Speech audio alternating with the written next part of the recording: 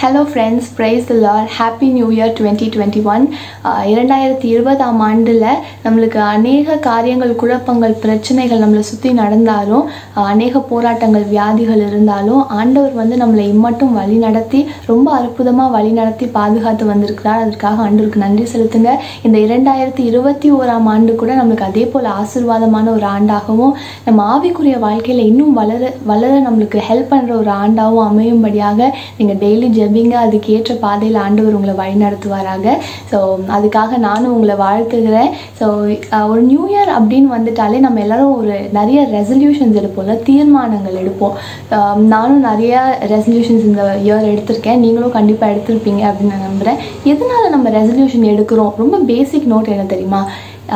இந்த வருஷமாச்சு நான் சில காரியங்களை விட்டு ஒரு வேலை கெட்ட பழக்கங்களாக இருக்கலாம் தேவையில்லாத பழக்கங்களாக இருக்கலாம் நம்மளுடைய வாழ்க்கையில் ஒரு முன்னேற்றத்தை அடையும்படியாக சில ரெசல்யூஷன்ஸ் எடுப்போம். நல்ல பழக்கங்களை வந்து டெவலப் பண்ணிக்கிறதுக்கு நம்ம ரெசல்யூஷன்ஸ் எடுப்போம். அதே போல் தான் நானும் எடுத்திருக்கிறேன். ஆனால் இது இது எல்லாத்தோட அல்டிமேட் எய்ம் என்ன தெரியுமா?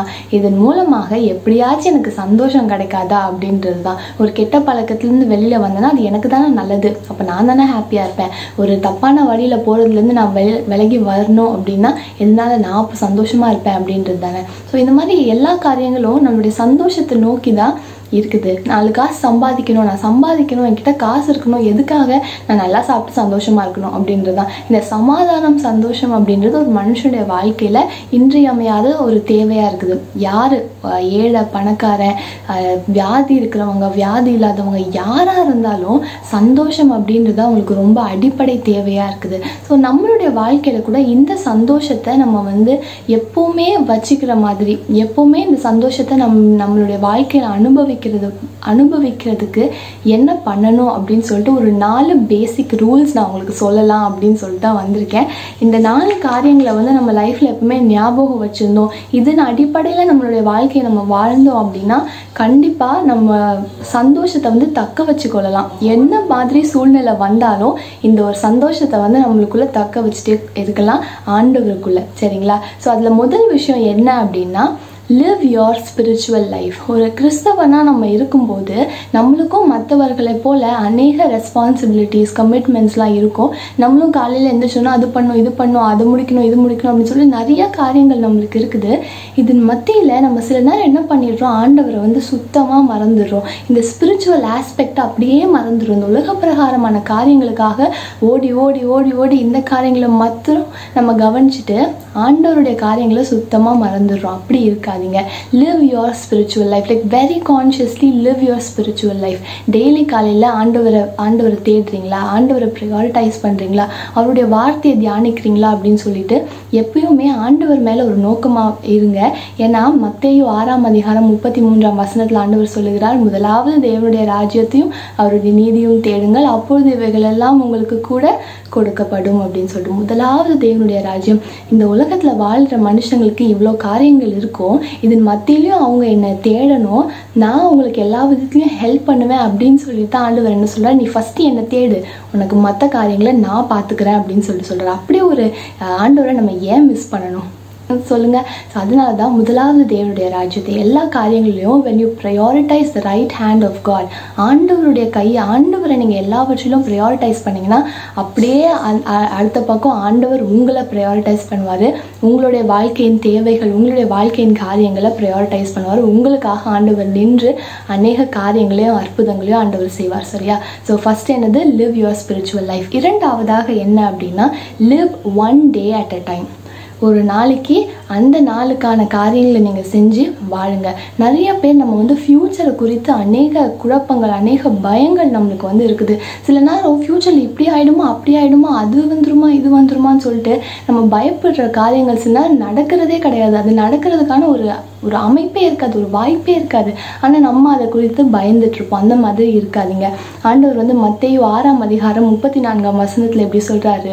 ஆகையால் நாளைக்காக கவலைப்பட கவலைப்படாதிருங்கள் நாளைய தினம் தனக்கு தன்னுடையவைகளுக்காக கவலைப்படும் அந்தந்த நாளுக்கு அதன் அதன் பாடு போதும் அப்படின்னு சொல்லிட்டு நாளைய தினம் அதுக்காக கவலைப்பட்டுக்கோ நீ அதை பற்றி கவலைப்படாத அப்படின்னு சொல்லிட்டு சில நேரம் நம்மளுக்கு ஃப்யூச்சரில் என்ன நடக்கும்னு தெரியாதனால அந்த ஒரு ஆன்ஸ் ஆன்சைட்டி அந்த ஒரு பயம் வந்து இருக்கிறது வந்து ரொம்ப சாதாரணம் தான். பட் என்னன்னா ஆண்டவர் மேலே உங்கள் விசுவாசத்தை போடுங்க.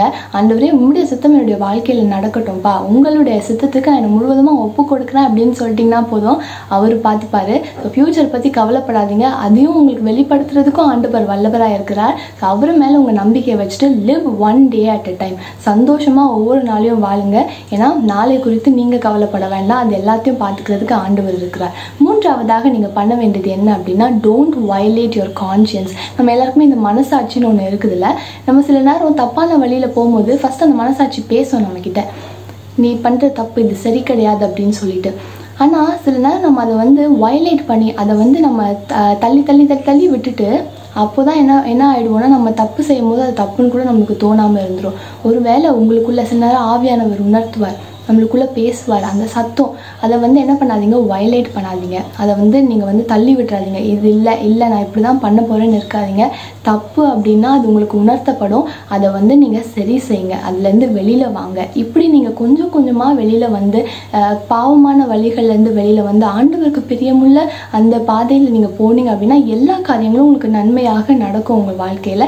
ஸோ அதனால் நீங்கள் கவலைப்பட வேண்டாம். ஒவ்வொரு நாளும் உங்களுடைய வாழ்க்கையில் நைட்டு தூங்க போகிறதுக்கு முன்னால் keep your account with Father God at zero ஆண்டவர்கிட்ட எல்லா காரியங்களையும் சொல்லி ஒருவேளை அந்த டைமில் ஆண்டவர் அநேக காரியங்களை உனக்கு உங்களுக்கு உணர்த்திக்கிட்டே இருப்பார். நீ இன்னைக்கு அது பண்ண இது தப்பு இது பண்ண நீ இப்படி பண்ணியிருக்க கூடாது அப்படின்னு சொல்லிட்டு அப்படி உணர்வு வர டைமில் அதை வயலேட் பண்ணாமல் ஆண்டவருடைய சமூகத்தில் அதை ஒப்பு கொடுத்துட்டு ஆண்டவரே நான் பண்ணது தப்பு தான் என்னை சரியான பாதையில் நடத்துங்க அப்படின்னு சொல்லிட்டு ஒப்பு கொடுத்தீங்க அப்படின்னா ஆண்டவர் உங்களை மன்னித்து அதை மறந்து உங்களை சரியான பாதையில் ஆண்டவர் கொண்டு போவார். ஒன்றியோவான் ஒன்றாம் அதிகாரம் ஒன்பதாம் வசனத்துல நம்முடைய பாவங்களை நாம் அறிக்கையிட்டால் பாவங்களை நமக்கு மன்னித்து எல்லா அநியாயங்களையும் நீக்கி நம்மை சுத்திகரிப்பதற்கு அவர் உண்மையும் நீதியும் உள்ள தேவனாய் இருக்கிறார் அப்படின்னு சொல்லிட்டு வேதம் சொல்லுது. ஸோ அதனால ஒரு வேளை தப்பு அப்படின்னு உங்களுக்கு தெரிஞ்சதுன்னா அதை ஆண்டவர்கிட்ட ஒப்பு கொடுங்க. அந்தந்த நாளைக்கு அந்தந்த அந்த கணக்கை வந்து முடிச்சிருங்க. உங்களை வந்து உங்களுடைய ரட்சிப்பின் அனுபவத்தை நீங்கள் வந்து புதுப்பித்து கொள்ளணும். உங்களுடைய பரிசுத்தத்தை நீங்கள் ஒவ்வொரு நாளும் புதுப்பித்து கொண்டே இருக்கணும். அதை ஞாபகம் வச்சுக்கோங்க. So keep your account with Father God at zero ஒரு ஒரு நாளும் அதை வந்து கேரி பண்ணிகிட்டே போகாதீங்க அன்னன்னைக்கும் ஒப்பு கொடுத்து ஆண்டவர் கூட ஒப்புரவாயிடுங்க. அப்போது உங்களுடைய ரிலேஷன்ஷிப் வந்து ஆண்டவர் கூட அந்த ட்ராவல் வந்து ரொம்ப அருமையாக இருக்கும். உங்களுடைய வாழ்க்கையிலும் நீங்கள் சந்தோஷத்தோடு இருக்கலாம். நான்காவதாக கடைசியாக நான் என்ன சொல்லணும் அப்படின்னு நினைக்கிறேன்னா பர்ஜ் யோர் லைஃப் ஆஃப் பா பாஸ்ட் ஃபெயிலியர்ஸ் நம்ம எல்லாருக்குமே ஒரு பாஸ்ட் அப்படின்றது இருக்கும். நம்ம வந்து கடந்து வந்த பாதைகள் வந்து ரொம்ப இனிமையானதாக இல்லாமல் இருக்கலாம் நிறைய பேருக்கு. Mostly more than eighty percentage of the பீப்புளுக்கு வந்து பாஸ்ட் வந்து சந்தோஷமான பாஸ்டாக இருக்காது அப்படின்னு சொல்லிட்டு சொல்கிறாங்க உங்களுக்கு உங்களுக்கும் அப்படி இருக்கலாம். ஒருவேளை அப்படி இருந்துச்சுன்னா அதே நினச்சி நீங்கள் கவலைப்பட்டுட்டு இருக்கணும் அப்படின்ட்டு அவசியமே கிடையாது. ஆண்டவர்கிட்ட ஒப்பு கொடுங்க. ஒருவேளை நீங்கள் தப்பான பாதையில் இருந்தீங்க தப்பான வழியில் இருந்தீங்கன்னா ப- கூட பரவாயில்ல. ஆண்டவர்கிட்ட ஒப்பு கொடுத்துட்டு ஆண்டவர்கிட்ட இருந்து உன் பாவம் மன்னிப்பு பெற்றுக்கொள்ளுங்க. உங்களை மன்னிக்கிறதுக்கு அவர் உண்மையும் நீதியும் உள்ள தேவனா இருக்கிறார் சங்கீதம் நூத்தி மூணு பன்னெண்டாம் வசனம் பார்த்தீங்கன்னா மேற்குக்கு கிழக்குக்கும் எவ்வளவு தூரமோ அவ்வளவு தூரமாய் அவர் நம்முடைய பாவங்களை நம்மை விட்டு விளக்கினார் அப்படின்னு சொல்லிட்டு சொல்லியிருக்குது. மேற்குக்கும் கிழக்குக்கும் எவ்வளோ தூரங்க? அது வந்து போய் நம்மளால கணக்கு பண்ணவே முடியாது? அவ்வளோ தூரம். அது எங்கே வரைக்கும் போகணும்னு நம்மளுக்கு தெரியாது? அவ்வளவு தூரமாக ஆண்டவர் என்ன பண்ணிட்டாராம் நம்மளுடைய பாவங்களை வந்து நம்மளை விட்டு விலக்கி வச்சுட்டாராம் ஸோ ஆண்டவர் வந்து மன்னித்து மறக்கிறதுக்கு ரெடியாக இருக்கிறாரு. நீங்கள் ஏன் அதை பிடிச்சி வச்சுட்டு இருக்கிறீங்க அண்ட் எப்பயுமே ஞாபகம் வச்சுக்கோங்க with forgiveness comes the right to smile again ஆண்டவர் உங்களை மன்னிச்சிட்டாரு அப்படின்ற அந்த விசுவாசம் உங்களுக்கு இருந்துச்சு. அந்த ஆண்டவர் என்னை மன்னிச்சிட்டாருன்ற அஷூரன்ஸ் உங்களுக்கு இருந்துச்சுன்னா அதுக்கப்புறம் நீங்கள் பழசை நினச்சி கவலைப்பட்டுட்டு இருக்கணுன்ற அவசியமே கிடையாது. ஏன்னா அவரே அவ்வளோ தூரம் தள்ளி வச்சுட்டாரு. அவரே மறந்துட்டாருன்னா நீங்கள் ஏன் அதை ஞாபகம் வச்சுட்டு இருக்கணும்? ஸோ பழசை நினச்சி என்றைக்குமே ஃபீல் பண்ணிட்டு இருக்காதீங்க. ஆண்டவர் உங்களுக்காக வைத்திருக்கிற அந்த க்ளோரியஸ் ஃப்யூச்சரை நினச்சி அதை அந்த பாதையில் போங்க. எல்லாவற்றையும் ஆசீர்வாதமாக ஆண்டவர் உங்களோட வாழ்க்கையில் நடத்தி கொடுப்பார். ஸோ சந்தோஷமாக இருக்கணும். ஹாப்பினஸ் ஆண்டவர் தரத்துக்கு ரெடியாக இருக்கிறாரு. அவர்கிட்ட போகிறதுக்கு அவர் அவர்கிட்ட அந்த சந்தோஷத்தை பெற்றுக்கொள்றதுக்கு நீங்கள் ரெடியாக இருக்கிறீங்களான்னு யோசிச்சு பாருங்க. இந்த நாலு காரியங்கள் உங்களை லைஃப்பில் மறந்துடாதீங்க. இதன்படி உங்களுடைய வாழ்க்கையை நீங்கள் வாழ்ந்தீங்க அப்படின்னா எப்பொழுதுமே சந்தோஷமாக இருக்கும் இருக்கிறதுக்கு இது கண்டிப்பாக உங்களுக்கு ஹெல்ப் பண்ணும். கண்டிப்பாக இந்த வார்த்தைகள் உங்களுக்கு பிரயோஜனமாக இருக்கும் அப்படின்னு நான் நம்புகிறேன் காட் bless யூ